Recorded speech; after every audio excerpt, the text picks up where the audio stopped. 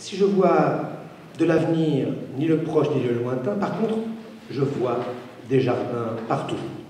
Je lis mon texte euh, à haute voix parce que je pense que l'écriture, c'est aussi une sorte de, musique, enfin il y, a, une rythmique, etc.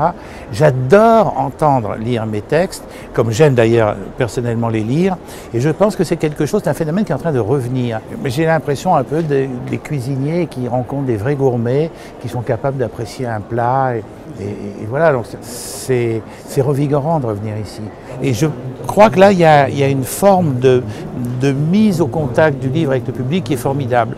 Ah, il ne s'agit pas d'une peur de mourir, mais plutôt d'une terreur à ne plus vivre, c'est-à-dire à emprunter seul des chemins inconnus, soit ceux de la mort dont nul ne sait la nature, et que j'entrevois comme une impasse.